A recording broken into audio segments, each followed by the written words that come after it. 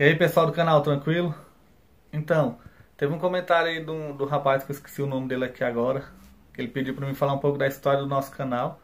Eu já falei aqui várias vezes que a gente começou lá em 2012, a, quando a gente começou a, a pesquisar sobre alguns assuntos sobre política, nova ordem mundial, sobre o comunismo, sempre dava, dava de cara com os vídeos do professor Olavo de Carvalho.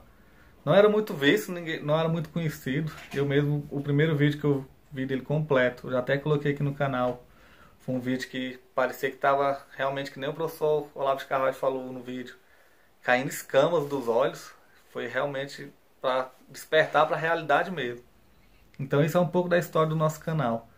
A gente começou a compartilhar desde 2012. Aí a gente viu por bem compartilhar para mais pessoas. E com isso a gente fez. Hoje o professor Olavo de Carvalho é conhecido no Brasil praticamente todo, né? Muita gente não, não, não, conhecia ele, hoje já conhece através do nosso canal e de outros também que compartilham o conhecimento do professor Olavo de Carvalho. E também dos alunos e do, dos cursos dele, né? Do próprio professor Olavo de Carvalho nas redes sociais também é bem, bem conhecido, muito grande. Os seguidores que ele tem no Instagram, Facebook, no Twitter, aqui no YouTube mesmo, está chegando a um milhão de inscritos. Falando nisso, vamos reforçar lá um milhão de inscritos no canal do professor Olavo de Carvalho. E eu quero também deixar aqui um abraço a todos os inscritos. Tem gente aí que está com o nosso canal desde o tempo lá que era Subliminar na Mente, né? Forte abraço a vocês. Agradecimento especial aos membros, aos apoiadores e ao pessoal que faz doação para o nosso canal, que nos incentiva a continuar sempre aqui firme e forte. Tranquilo? Mais para frente a gente faz um vídeo aí ah, falando mais a respeito, mas isso aí é só um pouco da nossa história. Fique com mais um vídeo do professor Lopes Carvalho. Tamo junto aí, gente. Forte abraço para o que se tem feito aqui no Brasil, a nível de socialismo, como é que, que, que, que eles têm feito aqui? Open Society, Antes de aparecer Jorge Soros, já tinha o seguinte, o sujeito passou no vestibular, entrava lá na fila para se inscrever na faculdade de Ciências Sociais, de Letras, não sei o quê, já vinha o pessoal da Fundação Ford, Fundação Rockefeller, oferecer para ele uma pesquisa com resultado pronto. Se você fizer uma pesquisa que chega a esse, esse, esse, esse resultado, está aqui, está financiado. Eles já, a distribuição de verbas de pesquisa é um dos grandes instrumentos dessa gente. A distribuição de verbas de pesquisa e o controle de teses universitárias. É assim que se domina o universo cultural e mental inteirinho de um país. E isso aí, muito antes de aparecer o Jorge Soros, já tinha milionários fazendo isso. Sempre favorecendo os comunistas. Sempre. Por que, que eles fazem isso? Bom, a gente já deu outra entrevista só para explicar isso. Mas é o seguinte: esse pessoal, esses bilionários, eles sabem que a economia socialista não existe. Não vai existir nunca, porque ela é intrinsecamente impossível. O que vai haver é um misto de economia estatal e privada, tipo o regime chinês. Que é economia fascista, no fim das contas, é o Estado onipotente aliado a cinco ou seis mega, grupos mega milionários e eles mandam em tudo. É isso que acontece, esse é o único regime que existe hoje no mundo inteiro. E esses caras sabem que isso nunca vai terminar. E quanto mais eles derem dinheiro para a esquerda, mais a esquerda vai ajudá-los. Os, esse pessoal chegou a se meter com o Foro de São Paulo também, professor? Com o Foro de São Paulo, não, mas com os políticos do Foro de São Paulo, certamente. Lula e todos os outros. Eles não, eles não vão se meter com a entidade Foro de São Paulo. Não, porque a entidade não significa nada. Uhum. O que importa não é a entidade, é a rede de relações. Né? São os tentáculos, né? Policia, os tentáculos, claro. Então, aí nesses tentáculos corre dinheiro de Jorge Soros de todo mundo, o tempo todo. E mais o dinheiro roubado do Brasil. Quer dizer, é uma coisa incalculável. Isso, numa dessas vezes que eu estava no Rio Grande do Sul, eu estava lá com o Foro da Liberdade, e de repente chegou o pessoal do, do, do MST, para um encontro não sei do que, acho que foi o Fórum Social Mundial. Eles preencheram todos os hotéis de cinco estrelas de Porto Alegre, meu Deus do céu. E quem pagou essa porra? É? Nem se pergunta. Isso é uma lava-jato. Porque se você acha que esses juízes do, do STF mandam alguma coisa, não, tem gente que manda neles, porra. Quem manda nele? O esquema comunista latino-americano manda nele. Se um deles desobedecer, está lascado. Você lembra, o Gilmar Mendes nunca foi esquerdista, meu Deus do céu. Ele era liberal conservador. E está ele obedecendo os caras em tudo. Por quê? Você acha que é por convicção? Não. É assim, é um negócio do mineiro. Quem tem puta tem medo. Ponto final. Esses caras não mandam nada, eles são apenas são os advogadinhos que trabalham para esse esquema. Olha, em, em primeiro lugar, é, não, não, não tem sentido a gente averiguar as causas de alguma, tentar averiguar as causas de alguma coisa, enquanto a gente não tem uma descrição completa da própria ação. Né? Então, primeira coisa, antes de saber o porquê, você tem que saber o o quê. E o, o, o que está acontecendo exatamente pode ser rastreado é, pelas condições que possibilitam a própria ação. Então, em primeiro lugar, ninguém faz o que não tem meios para fazer. Então, uma boa maneira de você a, pegar a substância da ação é você ver quais são os meios utilizados. Ora, os meios utilizados, no caso, são enormes fortunas. Essa coisa custa, vamos dizer, esses movimentos custam assim um absurdo. E quando nós rastreamos para saber de onde saiu o dinheiro, saiu dos mesmos grandes investidores contra os quais os movimentos protestam. Portanto, isso aí, é, tudo o que está acontecendo, se explica pelo, uh, pelo seguinte fator: só age quem pode agir. Então, quem tem os meios de ação, quem consegue mobilizar esses meios de ação, né, e em suma, da onde vem o dinheiro. Né? Aqui nos Estados Unidos, praticamente este movimento é financiado inteiramente pelo George Soros, o qual é um parceiro do governo Obama. Então é o seguinte, os, os, agentes, os agentes efetivos são o governo por um lado e Jorge Soros por outro. No que, que eles estão interessados? Estão interessados em aumentar tremendamente o poder do governo central. Curiosamente, você veja que esses, é, esses meninos lá que ocupam, estão ocupando lá uh, do, do Occupy Wall Street, eles dizem que protestam contra Wall Street, portanto contra a grande finança internacional, mas eles nada fazem contra a grande finança internacional. Eles se voltam contra, por exemplo, o Rupert Murdoch, o homem da Fox, que não é um financista, que não tem nada a ver com Wall Street. Ao passo que George Soros, que é a própria Wall Street encarnada, eles não fazem nada contra o cara. Então, você veja, já nos anos 40, nos anos 30, perdão, houve um sujeito chamado Hermann Rauschning, que escreveu um livro muito significativo. Ele era um um político, um militante do partido nazista, fez uma carreira dentro do partido nazista, chegou a ser governador de uma província, e é, quando ele entendeu como a coisa funcionava, ele ficou horrorizado, largou tudo, fugiu para a Inglaterra e escreveu dois livros de diagnóstico do movimento nazista, que são obras-primas. É, e um deles chama-se Warning to the West, Advertência ao Ocidente. E ele dizia o seguinte: olha, o Estado moderno se tornou tão, tão, tão poderoso, a burocracia tão complexa, que as revoluções populares se tornaram impossíveis. De agora em diante só ocorrerão revoluções por cima. Quer dizer, que é o próprio governo, a própria classe dominante que promove as revoluções quando interessa aumentar o seu poder.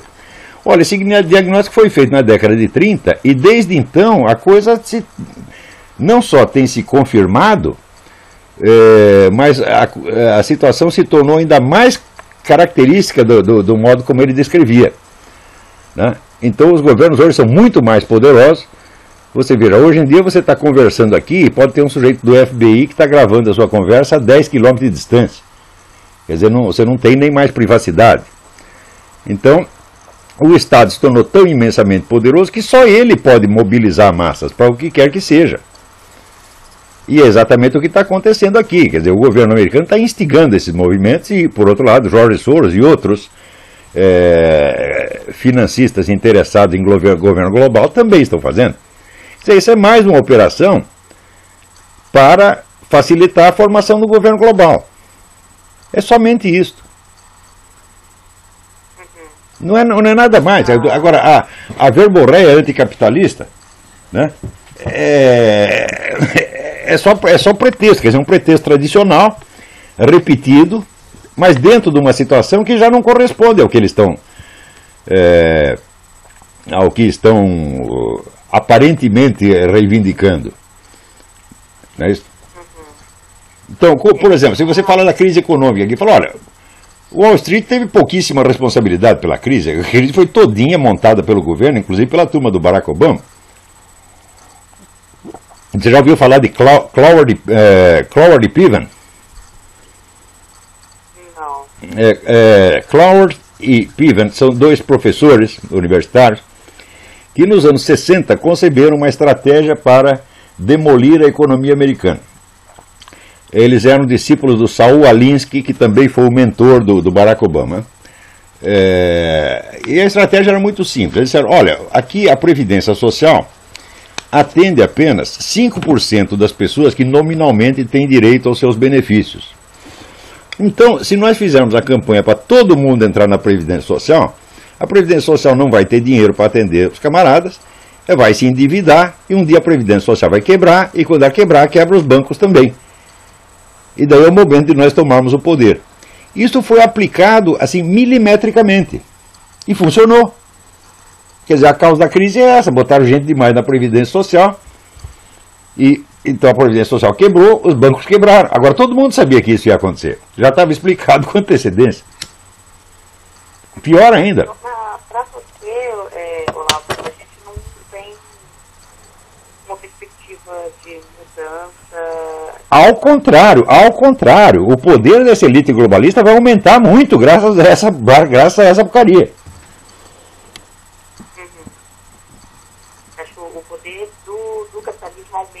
Não, não é, não, não, eu não, não diria capitalismo, porque aí a diferença já não, não, não consta, não conta, né?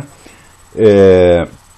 Hoje em dia é difícil você distinguir o que, que é o poder do capital privado e o que, que é o poder do governo. As duas coisas estão muito mescladas.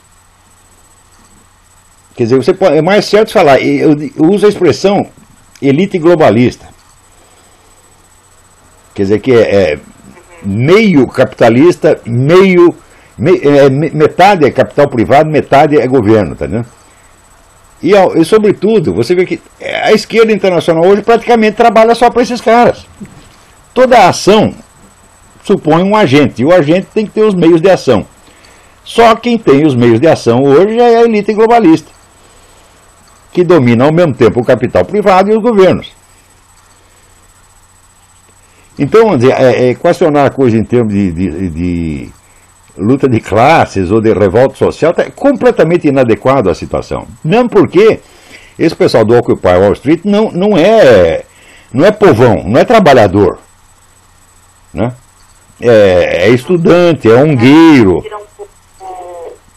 O poder de contestação dele. Não, não entendi sua pergunta.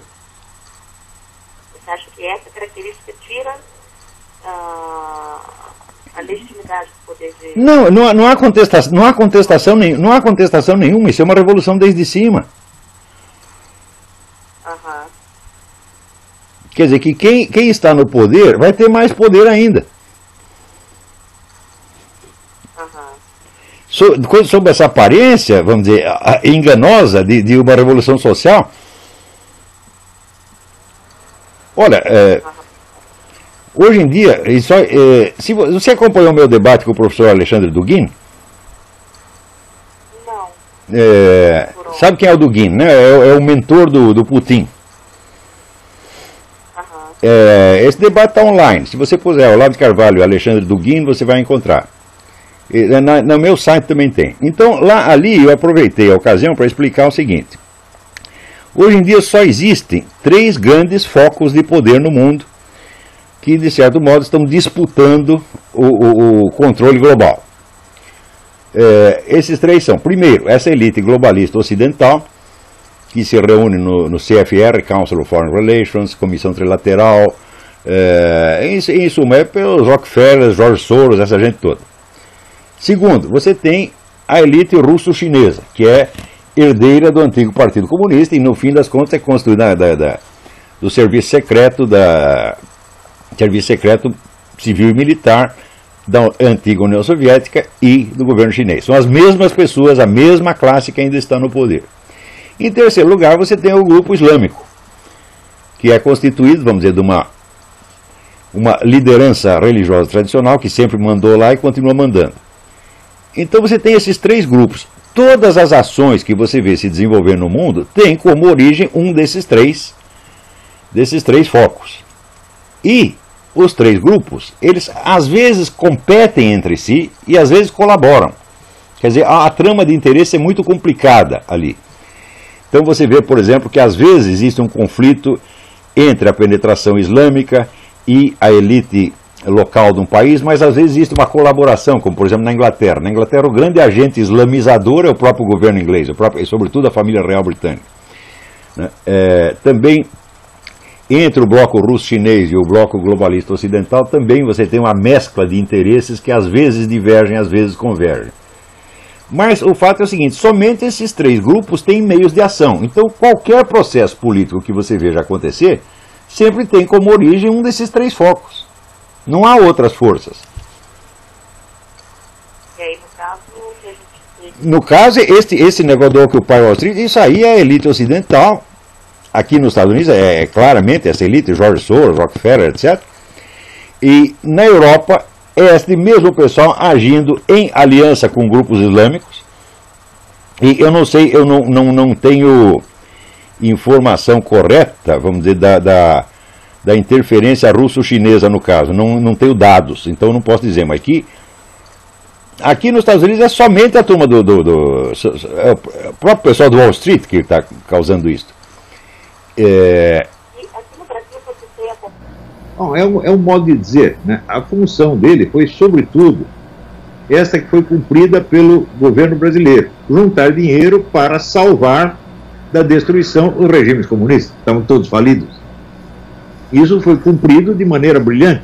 Eu acho que os comunistas deveriam criar um, levantar uma estátua para o Lula, porque ele, de fato, como bem declarou as Farc, ele salvou o movimento comunista no continente, com dinheiro brasileiro. Veja, o Foro de São Paulo é um dos elementos do esquema de poder comunista. Junto com o Foro de São Paulo, foi montada a rede de informações comunistas. Veja, na década de 90, eu fui contratado pela empresa Odebrecht para estudar as CPIs que estavam acontecendo e explicar para eles o que estava acontecendo nas CPIs, porque eles estavam levando porrada de tudo quanto é lado. Eram inclusive acusados de desviar dinheiro da construção de aeroportos, e a, a Odebrecht jamais construiu um aeroporto na vida. Tinha coisas desse tipo. Né? É, e essa rede de informações petista era coordenada pelo Zé Dirceu desde aquela época. E eles acompanhavam, eles tinham informações sobre a vida de a vida e os esquemas de corrupção de cada político brasileiro. Então, ali eles já dominavam a situação. Eu estou falando para você, eles tinham até, assim, quando um político recebia um dinheiro, eles sabiam até os números das cédulas que o sujeito tinha recebido. Eu, na época, pedi um dinheiro lá para Odebrecht e entrevistei alguns agentes que estavam a serviço do Serviço de Informações Petista. A rede era imensa, cobria-se empresa privada, empresa pública, Forças Armadas, escolas, tinha gente em toda parte. Eu peguei alguns falei assim, me dá uma entrevista, eles me deram. E aí eu vi o poder de penetração dessa rede, era um negócio impressionante. Os políticos corruptos não petistas estavam completamente na mão do PT. Entende que depois montar o mensalão do Petrolão foi a coisa mais fácil. Isso foi baseado na rede de informações criada pelo Zé Dirceu. Agora você verá, nada disso foi investigado até hoje. Eu nunca vi um general se interessa- interessar pela rede de informações petista. Eu não vi um general se interessar pela seguinte pergunta: quem financia o Foro de São Paulo? Como é que a maior, maior entidade política da história latino-americana, assembleias anuais, reuniões mensais, reuniões de grupo de trabalho, toda semana, em 20, 30 capitais, quanto isso custa e de onde vem o dinheiro? Nunca perguntaram sequer de onde vem esse dinheiro. Eles não querem saber, você está entendendo? É assim, o pessoal da direita, os não comunistas, estão, eles têm medo do poder comunista, eles querem fingir que não existe. Sabe aquele negócio do senta que o leão é manso? Essa história do senta que o leão é manso. E aí, amigos do canal, na comunidade estão o link de todos esses livros. Esses aqui, mais outros, praticamente todos os do professor Olavo de Carvalho, se eu não me engano, estão lá na, na nossa lista da comunidade. E muitos outros que o professor Olavo de Carvalho indicou também nas aulas, no COF e também no programa Mídia Sem Máscara. Todos que ele indica, a gente pegou e colocou lá. Os que a gente conseguiu, né? O link, colocamos lá na comunidade. O link vai ficar lá até, até domingo. Para vocês, quem quiser adquirir os livros, pedir lá com a gente, tranquilo? É o link seguro, chega em casa direitinho. Valeu, forte abraço, tamo junto aí.